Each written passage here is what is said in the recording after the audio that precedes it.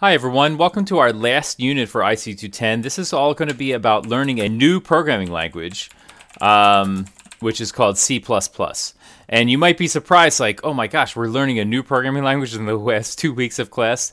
Well, don't be too worried. The main thing to know is that C++ is really the C language that we've already known and love and are quite used to, um, with a few extra things added on. So that's kind of the joke of the name of C++. And let's look actually from a historical perspective. Where did this come from? Why do we have these different languages?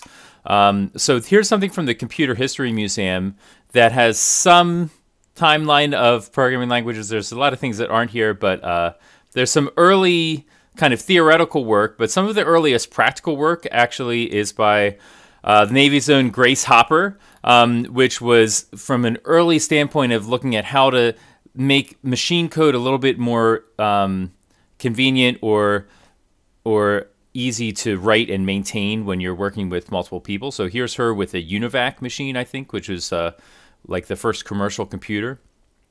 And then was a go in the history of time. Um, you might have heard of COBOL, and there's uh, Grace Hopper again a little bit later in life.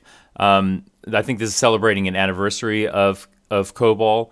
Uh, COBOL was in the news recently because in New Jersey, when there was an uptick in unemployment claims with the beginning of the pandemic, they realized that their unemployment um, system was all written in COBOL and they needed to improve it, and nobody knew how to use COBOL. So there was like a, a big call for like, hey, does any are there any good COBOL programmers out there? Please help the state of New Jersey.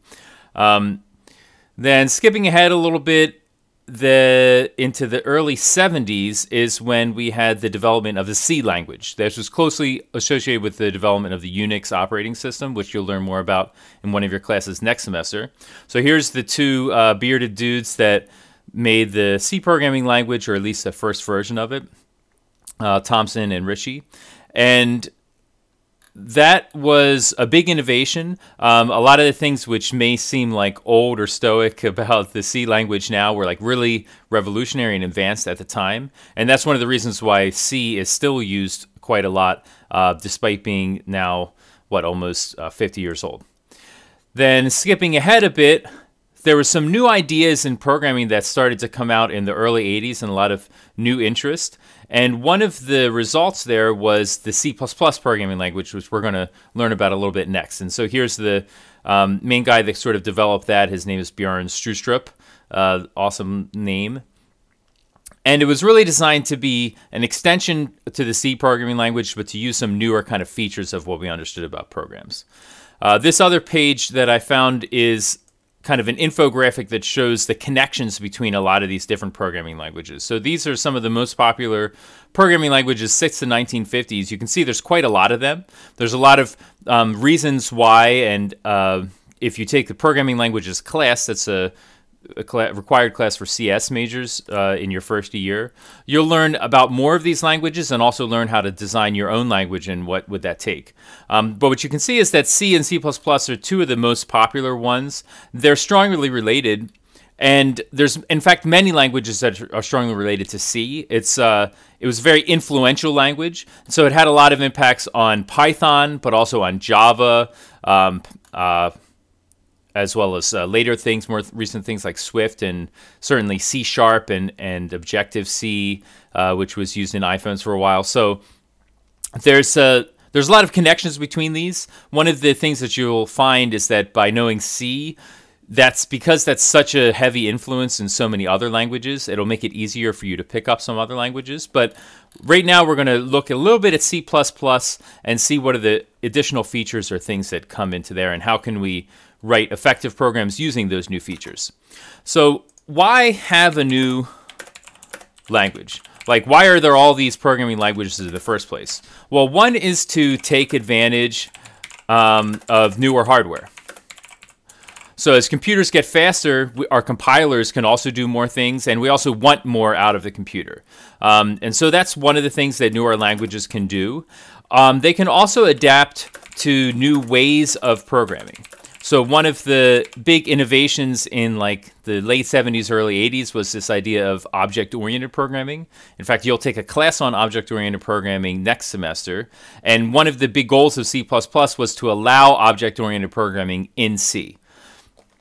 And uh, finally, another reason for a new language is to just make life um, convenient uh, for large groups of or a single programmer. And why is it important to make life convenient? because it allows us to get more stuff done. So, for example, one of the things we'll see in C versus C is that in C, if you name a function, nobody else is ever allowed to use that same function name in the in any part of the same program.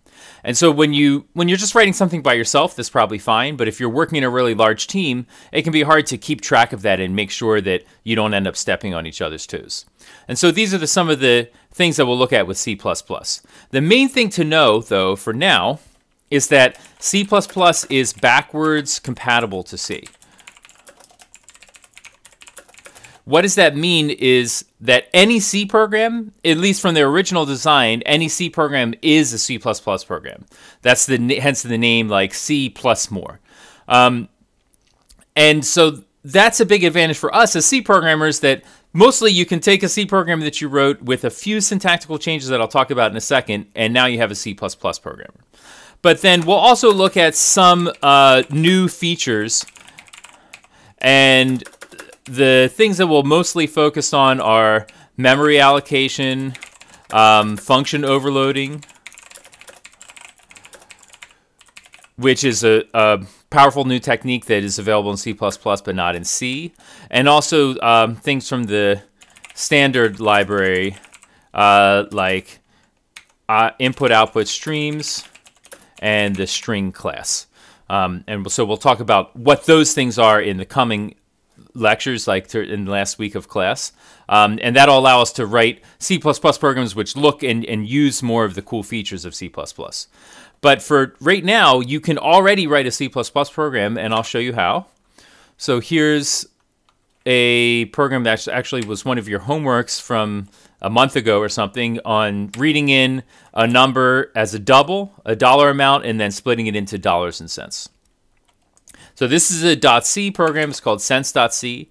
If I want to make it be a C++ program, first of all, I have to change the name. So I'll change it to cents.cpp and I should say the name of the first file. And then I'm almost ready to go. The only difference is that I need to change the name of my includes. So in C, we have like stdio.h. Whenever we want to take one of those C standard header files and include them in a C++ program, we just put this, the word C and we don't use that .h. So all the standard headers for C++ don't have any .h. So for um, standard IO, it's this one. Like for string, it would be cstring um, instead of string.h. Now you might think, oh, another one that we'll commonly want is like cstd bool. But no, you don't need to use this. You don't need to include any such header because, in fact, the bool type is included for free. Bool type is built in to C++. So we don't need that. And otherwise, our program can stay exactly the same. We still want a main function, and we can write our functions like this. We can use pointers. We can use printf and scanf. We'll later see other things to use that are a little bit of a more advanced feature instead of printf and scanf, but we can use those things in C++ as well as in C. So now this C++ program will work. But how do I compile it? Well, instead of using GCC, we just use G++. So I'll say G++ cents.cpp tech o sense that compiles and it works. Uh, and I forgot to type a dollar sign, and now it actually works. Okay, so the main changes is just change your file name to be called .cpp, and then change the header files, and now you're ready to go. Now you're a C++ programmer. And we'll learn more about some of the other cool features of C++ uh, in the next few days.